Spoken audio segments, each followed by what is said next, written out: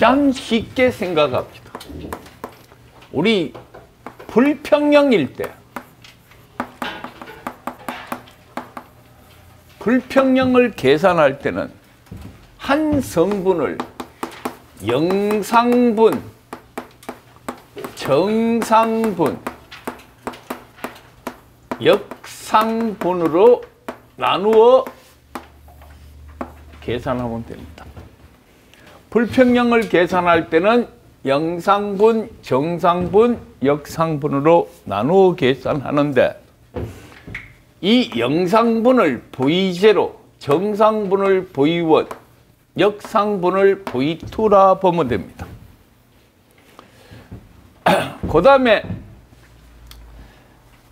각 상에 존재하는 값들을 이런 생각을 하십시오. 각 상에 존재하는 것은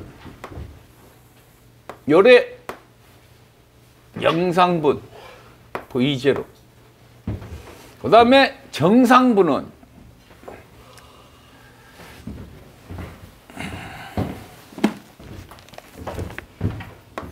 요렇게 V1 역상분도 똑같은 방으로 요렇게 V2가 되어 있습니다. 우리 이제 불평형 전압이 하나 있다면 불평형 성분이 하나 있다면 그것을 하나를 영상분, 하나를 정상분, 하나를 역상분으로 생각해 주는 겁니다. 자, 그래서 A상 전압 VA는 정상, 영상, 정상, 역상을 더한 것과 같습니다. 그런데 요거는 정상은 시계 방향입니다. 정상은 시계 방향 AV1 A 제곱 V2 역상은 반시계 방향입니다. A 자성 음, 요게 이제 반시계니까 A 제 얘가 A고 얘가 AV2고 얘가 A의 제곱 V2가 됩니다. 무슨 말씀이냐 하면 교재를 어디를 피우시느냐 70페이지를 일단 피워보세요.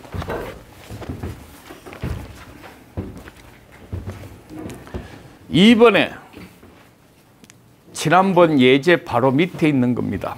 그게 끝나고 예제 대칭분 불평형 고장 계산의 대칭분 대칭 좌표법의 정의 대칭 좌표법이란 1960년도 GE 제너럴 일렉트릭사에서 제안한 삼상회로의 불평형을 푸는 데 사용하는 계산법이다. 불평형 전압 전류를 그대로 취급하지 않고 세 개의 대칭 성분을 나누어 대칭분이 단독으로 존재하는 것을 계산한 다음 마지막으로 그걸 중첩시켜 불평형을 얻는 방법이다. 즉 대칭 좌표법이란 계산이 복잡한 불평형 고장 계산을 평형 상태로 계산한다. 자, 대칭 좌표법은 불평형을 무슨 상태로? 평형 상태로 가정하여 계산하는 방법입니다. 그래서 영상, 정상, 역상으로 나눴습니다. 자, 그래, 그러고 난 다음, 아, 요거 설명하기 전에 여러분들에게 연산자를 하나 더 설명을 하겠습니다.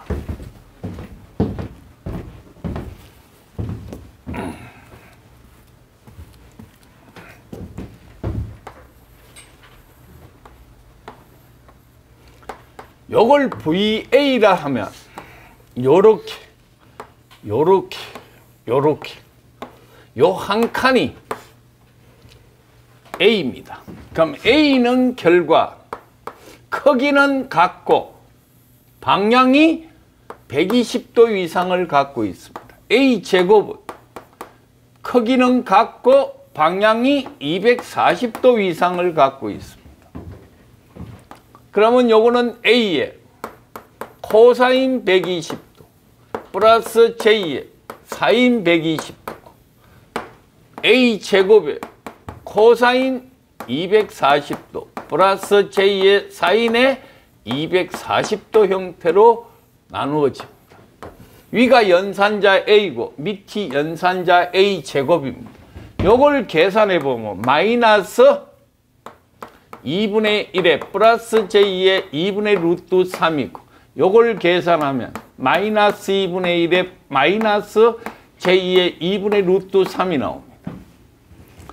코사인 240도 대입하고 하면 자 뭐가 극좌표가 상가함수 좌표를 거치고 직각 좌표의 값으로 나타납니다. 이 방향만 결정해주는 연산자입니다. 그러면 a 플러스 a 제곱의 값은 마이너스 1입니다. 허수분은 날아가고 그러면 1 플러스 a 플러스 a 제곱의 값은 0입니다. a 삼성은 뭐겠어요? 한 칸 움직이는 게 a면 두 칸은 a 제곱이고 한 칸 더 움직이면 a 삼성입니다. a 삼성은 제자리로 돌아왔으니까 1로 봅니다. 그러면 이제 그 어떤 값이 나오더라도 우리는 연산자 기법으로 풀 수 있습니다. 기사 시험은 연산자가 쉽습니다. 실기도 쉽고 필기도 쉽습니다. 불평형 A상 불평형 전압을 구하라. 뭐 그런 간단한 문제입니다. 자, 곳곳이 연산자에 대한 설명은 됐고 책을 한번 넘겨 보십시다. 우선 23페이지 잠깐 보십시오. 영상분입니다. 크기는 같고 동일한 위상각을 가진 영상분은 크기 동일 위상입니다. 요거 꼭 적어 놓으십시오. 접지선에는 흐르고 접지식 전로에는 흐르고 비접지식 전로에는 영상분이 존재하지 않는다.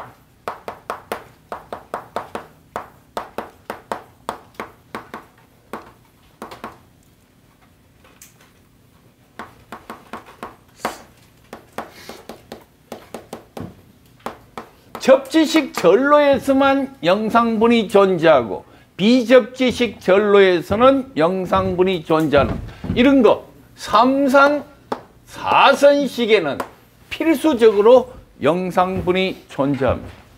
3상 4선식은 중성점 접지 방식이기 때문에 접지식 전로에는 흐르고 비접지식 전로에는 영상분이 존재하지 않는다. 다음 그 밑에 거 보시면 정상분입니다. 전원과 동일한 삼배, 상회전 방향. 자, 정상분이라는 것은 이제 이게 용상분입니다.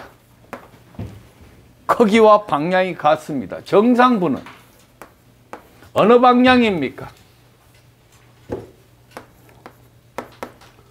이게 정상분 V1이라면 얘는 V1이고 A의 V1이고 얘는 A제곱 V1입니다. 왜? 상회전 방향이 전원과 무슨 방향이라 했습니까? 동일한 방향입니다. 이게 무슨 이게 무슨 분이라고요? 영상분이고 얘는 정상분입니다. 정상분은 전원과 무슨 방향? 동일한 방향입니다. 전원과 동일한 방향이면 반식의 방향입니다. 그럼 얘가 V1이면 얘는 한 칸 움직였으니까 AV1 얘는 두 칸 움직였으니까 A제곱 V1입니다. 다음 역상분입니다. V2 V2 V2인데 역상분의 내용을 보세요. 상회전 방향이 반대 방향 전원의 회전 방향과 반대 방향이라는 것은 거꾸로 시계 방향이라는 얘기와 같지요. 그게 시계 방향입니다. 얘는 반시계 방향이고 얘는 시계 방향입니다. 얘가 무슨 분이라고요? 역 상분입니다. 그러면 얘는 뭐 돼요? 반대로 도니까. A제곱 V1 되죠? 얘는 AV2 돼요? V2니까 얘는 A제곱 V2고 얘는 AV2입니다. 그러면 이제 한 상씩 더해 보면